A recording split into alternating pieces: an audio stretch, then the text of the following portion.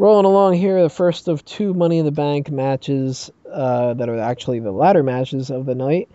And that one is going to be for the World Heavyweight Championship contract. And this includes Fandango, Wade Barrett, Dean Ambrose, Jack Swagger, Damien Sandow, Cody Rhodes, and Antonio Cesaro. So let's break it down one by one here. Fandango. Anybody think he's going to win? Yep. Nope. Nah. No. Peyton, you think he's going to win? Eh. I think he's the dark horse choice for this. Uh, Do you think he's actually going to become the world champion? He could. He could. There, there. somebody likes this guy a ah. lot, and it's not just me. I, I think he's more of an outside shot at best. Yeah, I think he stands better chance than at least half the other guys. I'll oh, say. So he certainly stands a better chance than Swagger, but that's a ah. given. Yeah. I think he stands a better chance than only Swagger and Cesaro. I'd put him at the third at the bottom. I don't like the. I don't like all this talk against Jack Swagger. Uh, Wade Barrett. Now he's the person I'm picking to win He's the person that I think has the lowest chance of winning this match. because he's English. Because you I'm because it's so being obvious. serious, though. I know that's you not are, which is kind of worrying. Hmm? I know you are, which is kind of worrying. Oh no, no. I believe Uh, he'll do it. I be- believe in the Shield. I mean, Yeah. Wade Barrett. You believe in the Barrett barrage? I I did do. once when he was involved in the Nexus. I believe in the fr- five knuckle shuffle. Oh wait, that's It's John it's Cena. it's the Barrett barrage, not Barrage. the barrage. Yeah. Oh, it's barrage. The Thank you very much. And he The- I'm the there. Englishman who's talking about it. Okay, sunshine. Don't correct my grammar, son. No, you only do that if you're uh, the editor of a fan base. language. Bum, ba-dum, bum. But uh, you guys must have a reason for him being labeled the favorite. May you list them off because I can't for the life of me think how he has a better shot than say Jack Swagger or Antonio Cesaro. Swagger Cody websites love him. yeah. Swagger and Cesaro have no shot because they haven't done anything with them. And it's not even a case where oh they're not doing anything with them and then all of a sudden they get a surprise win. They've just really not been on the map in terms of, of anything. Jack Swagger hasn't hasn't wrestled in a month. I think that's punishment for you know the the whole uh, marijuana thing. And Cesaro's whole- been on pretty much a losing streak for a while now. It seems he's only been if he hasn't been losing on TV, he's been just on Superstars. so Barrett um, and Rhodes, and even Sandow for that matter. Well, I'm, I'm getting to that. Fandango, he has the best of the worst. He he might be able to to win, but it's a very low chance. Dean Ambrose already has the inter, uh, has the U.S. title. They're not gonna put the they're not gonna give him the case and the U.S. title. Um, It Really? has happened before. Has- Mhm. Yeah, with yes, the Miz. with the Intercontinental Championship and the uh, the briefcase, and yes, with the Miz with the US Championship and the briefcase. Didn't RVD have the Intercontinental title? Yeah, he won Yes, it after did. he won uh, the Money in the Bank, like a month after. Uh, He was having a grudge match with Shelton Benjamin. all right, then I, I'm gonna take it back. I say Dean Ambrose has the best of the worst chance. Yeah. Ah, But um, and as far as Barrett, Rhodes, and Sandow, they pretty much to me, if you're gonna count those three, have 33% chance between them. They all, any of those guys, in my opinion, could win Money in the Bank, and I'd be completely okay with that. Sandow's my dark horse. He's like just a level above everybody who's not Ambrose in this match, and that's just because he's the only been the only one doing something somewhat relevant, being Sheamus's uh, kickoff buddy, literally and figuratively over, over the last month. Now he's been relegated to doing these uh, these team skits because we got we got Team We the People now, and they were doing these segments with Team Rhodes Scholars. So now they're doing this whole team thing. So now it's throwing me off even more because now I'm thinking, well, these guys are in tag teams, so that means they're not going to win.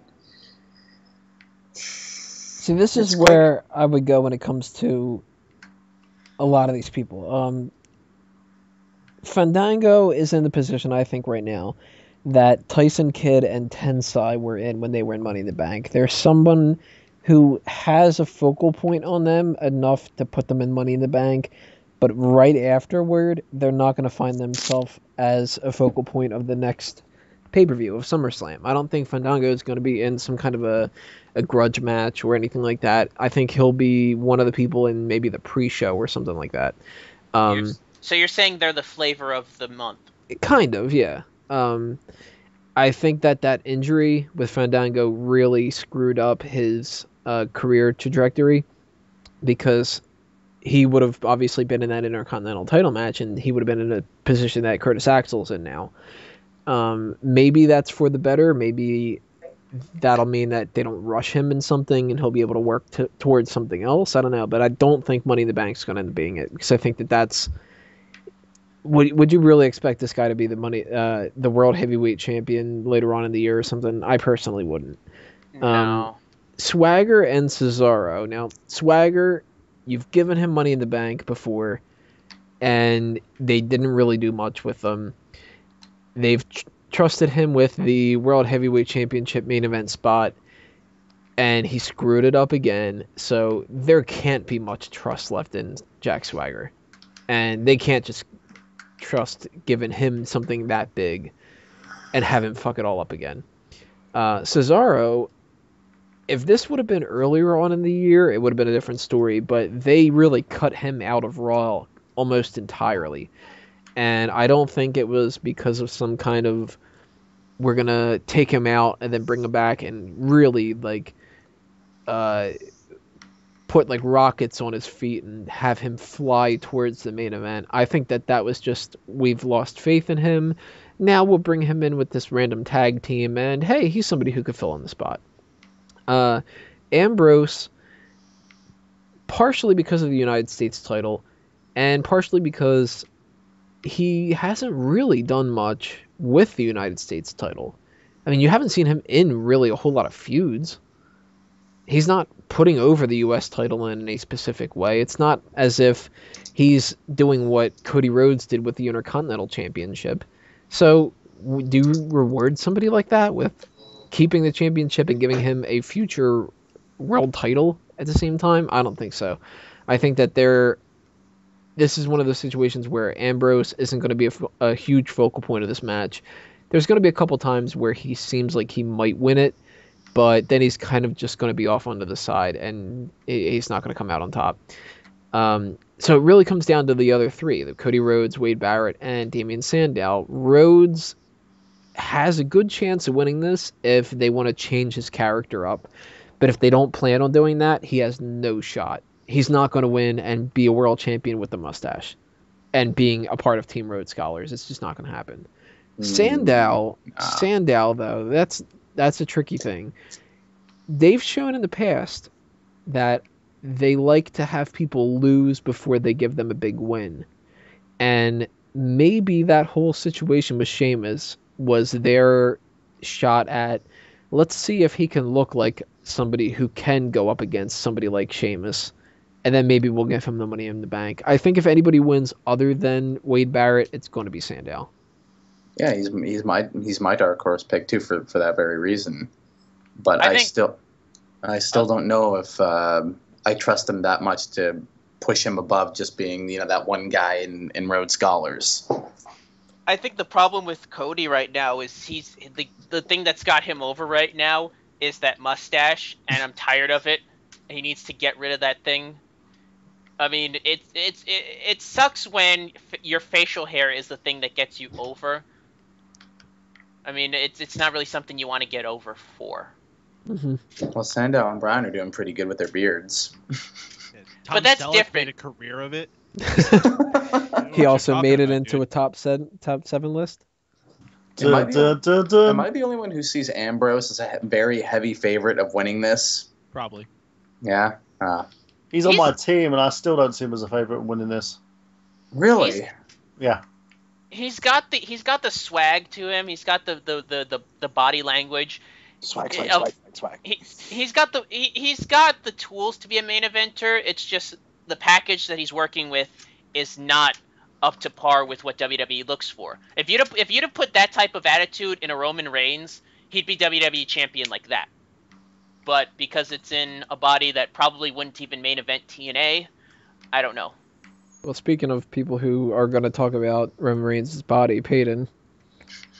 Um, you know, the way I see this is going is, uh, like I said, Fandango, I think, has a good chance. However, if he wins it, I don't think he's going to win the World Heavyweight title. I think he's going to be the first rising star to lose their Money in the Bank cash in. I, I know John Cena has lost his Money in the Bank, but, you know, Money in the Bank has always been used as a way of elevating a person. I think Fandango could be that first guy that's like, oh, he's going to be going to the, oh, no, he's not. He lost it he could be a good person to be that first person to set that example. The other people that I can see winning is either member of Rhodes Scholars, and if they get it, then I do see them going on to become world heavyweight champion. No way, Barrett. No way, Bear, absolutely not. No, it's okay. At least we have somebody thinking on the, on the same uh, level here. I couldn't be the only one thinking he's got no chance of winning. Would you I level? Would you put him? believe in Barrett. I Hey, do too. Peyton, would you put him along with uh, Swagger and Cesaro as having absolutely no chance of winning no, this thing? I, I would put him above Cesaro and Swagger. The only thing I see Cesaro and Swagger doing in this is having like a comedy spot where they're arguing over who gets to go up and get the belt. I hope so, because if Cesaro wins, I think I might actually puke in a in a